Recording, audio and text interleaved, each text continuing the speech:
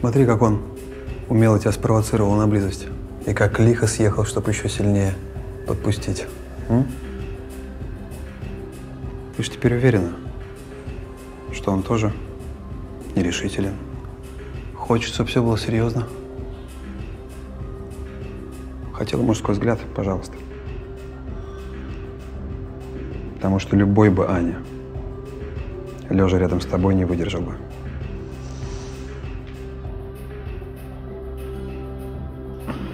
У него что, был секс до меня?